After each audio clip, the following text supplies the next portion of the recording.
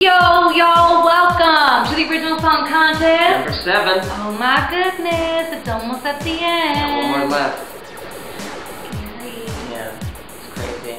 But we have five amazing artists to show you this week, so I'm really excited about it. They're really good. So let's go ahead and check them out. Do you see what I see? In this day and time, it's hard to find somebody like you. Cause who knows when you close that door, you might miss what you were looking for. Oh, yeah.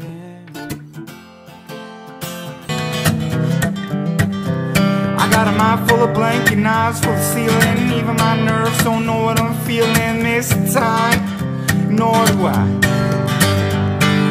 Can I hold happy just to hear you talk. Tell me everything on your mind, and I'll say you've been online. It's not my turn, no, no, no, no, no, no, no, be another victim of defeat. Hey, if you like those five artists, please go and vote for them. Yeah. How do they vote, Ryan? Yeah, it's really simple. You go to the Facebook link, which is down below, and you go to the poll and you click on a name. It's super simple. It's totally going to make their day, and you should go do it. Before we get to that big secret of how to get signed by a label, we're going to go ahead and go through some artists, very popular ones, Lady Gaga and such, and see how they actually got signed. So let's, let's start. Well, we read this interview with this A&R guy from Roadrunner Records, and he is the person who signed Nickelback. And what he said was he went to see them at a club, and it was raining, and they had people out the door around the corner waiting to see them. And he said, "This is a band that's going to do big things. I'm going to sign them." That kind of following, absolutely. So many of you might know how Justin Bieber got signed, but I'm going to go ahead and tell you again if you don't know. I would like to interject here for just a moment say that Ryan is obsessed with That's not true. Yes, go back and watch our former shows and watch how much he talks about him. I'm not kidding you. He's a, be- Literally a believer or something. Off the wall. He's obsessed. They're like connected. Anyways, Justin Bieber, he made some YouTube videos when he was very young. He had no idea they were going to be popular.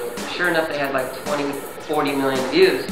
And they were so popular that Usher and Justin Timberlake actually wanted to see him. It's not like he was knocking on their door saying, hey, I want to be signed. No, he had people already that wanted him to be a part of their record label. So he created that following, he generated that interest, and, you know, it's pretty much history from there.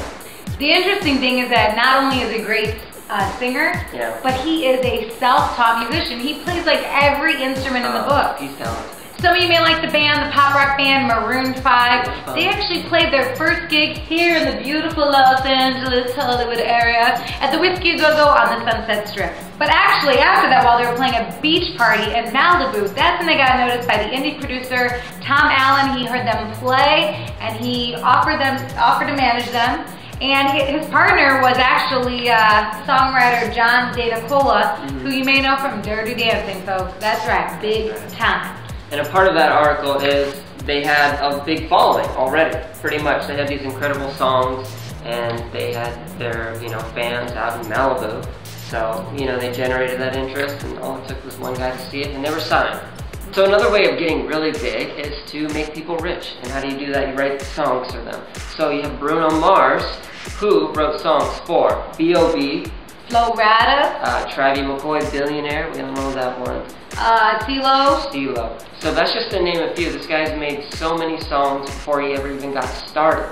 And he already even had a little bit of a, his own following. So another, uh, very interesting how Bruno Mars did it. Right. There's another artist that did that as well. Lady Gaga We're like so friends. Yeah.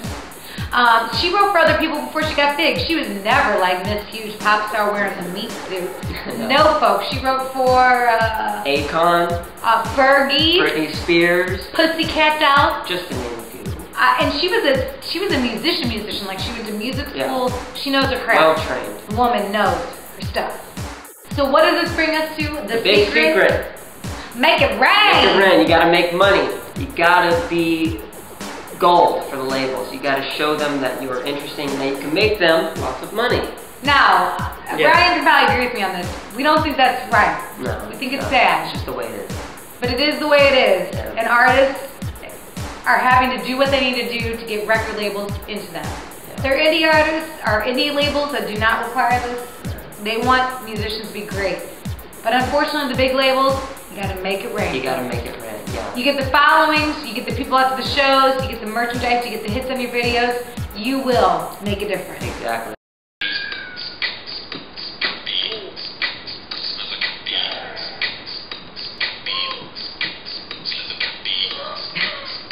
All right, we just watched this hysterical video, and I've been begging Ryan to put it on, Yeah. and he has been denying me Why did he because he has something more important.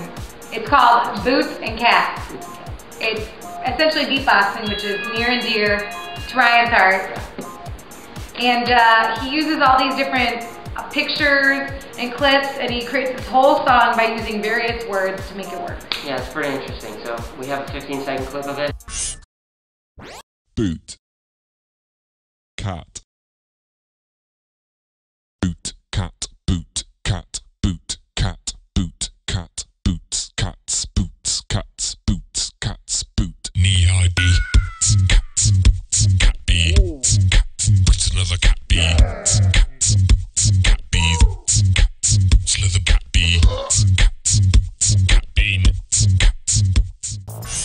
widely anticipated part of the show where we announce the winners from last week. That's right. Episode six. six. In third place is Emily Alyssa with Unravel. Second place was Charisma with Lonely Soul. And in first place is none other than Sebastian Janowski with Big City College My Name. Congratulations. Before we end the show, I'm gonna get up close and personal. We're trying to do a good thing here by getting people watching your videos. We need your help. We need you to like our YouTube page, like our Facebook, Yeah. do our blog. I mean, subscribe to our blog. Follow us on Twitter. We need your help. Yeah, we did. We're doing magical things here. We're doing it for free, and we're doing it because we love you, the artist. So please, please join.